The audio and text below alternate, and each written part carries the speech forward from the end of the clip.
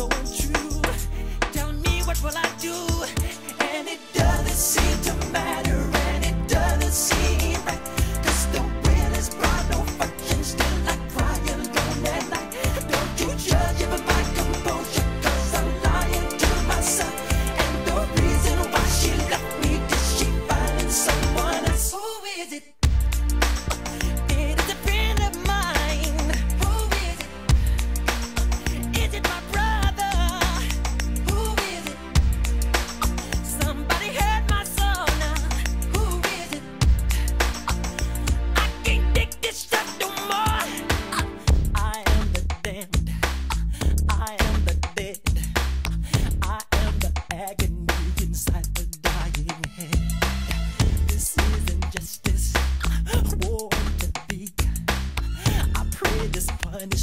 Lord, have mercy on me.